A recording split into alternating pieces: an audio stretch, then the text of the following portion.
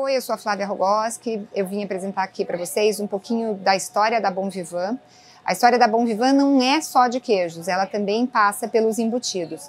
O que, que são embutidos? Né? A gente sempre pensa assim: ah, embutido é um salame, embutido é uma morcilha, embutido é uma mortadela.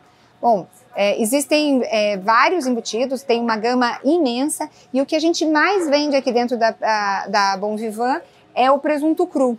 O presunto cru, é, as pessoas conhecem ele, mais, os mais famosos ou os apelidos que eles usam é o presunto de Parma ou o Ramon Serrano. Né? Mas existem diferenças muito grandes entre a tecnologia de produção do Ramon Serrano, do presunto é, Parma e do presunto San Daniele ou dos presuntos produzidos na Itália.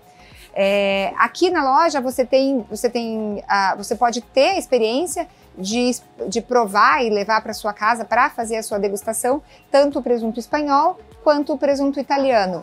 É, normalmente o presunto espanhol ele entrega um sabor um pouquinho mais intenso e mais seco na hora de você mastigar. E os presuntos italianos, eles são, a gente chama deles de mais doce, né? Não que ele tenha dulçor no, no, no paladar, mas como ele é mais suave, eles acabam ficando com o termo de um presunto mais doce. Mas a gente sempre tem essas duas opções. Esse, é, o presunto, é, o presunto cru, ele pode ser espanhol ou italiano, né? Porque as pessoas acabam chegando aqui na loja e falam: "Ah, eu queria um presunto, eu queria um parma da Espanha". Cara, isso não existe. Se é Parma, é da Itália. Se Ramon Serrano, é da Espanha. Então, assim, só não confundir, todos eles são presunto cru. É, o presunto cru, ele é produzido do pernil do porco.